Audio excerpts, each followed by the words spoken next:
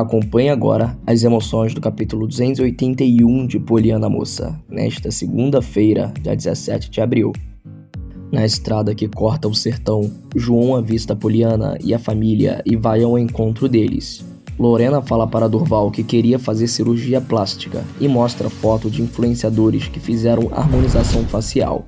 Glória se depara com Luke Chu e não desconfia ser outro androide. Brenda e Raquel notam que o androide sumiu da Look for Tech. Pedro não quer ir ao laboratório fazer o exame de DNA. Raquel e Brenda avisam a Luca que o androide sumiu e ele fica preocupado. Davi solicita a Zezinho esperar mais tempo para o teste de DNA, porque o Pedro precisa processar toda a informação.